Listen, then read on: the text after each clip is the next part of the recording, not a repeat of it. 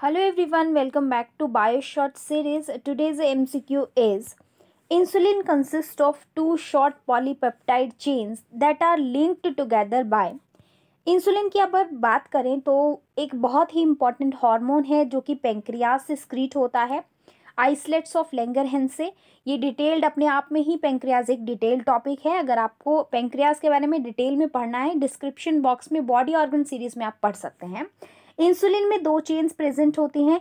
एक चेन जो है कंपैरेटिवली थोड़ा लॉन्ग रहती है और दूसरी थोड़ी सी छोटी रहती है। जो थोड़ी सी छोटी चेन होती है, उसे ए चेन कहते हैं और ये दोनों चेन्स आपस में ज्वाइन होती हैं। यही हमारा क्वेश्चन है। तो यहाँ पे जो बॉन्ड होता है, वो इस तरह से डाइसल्फाइड बॉन्ड होता है, इसलिए सी ऑप्शन इसका करेक्ट हो जाएगा।